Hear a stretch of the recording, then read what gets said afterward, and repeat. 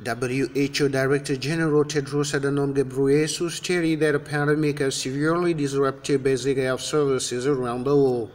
According to the Health Organization, an average of around 80,000 new cases have been reported every day since the beginning of April.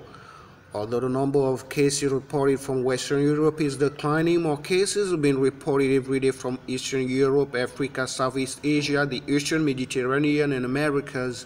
Tedros said strong and resilient health systems are the best defense against pandemic and multiple health threats of the world.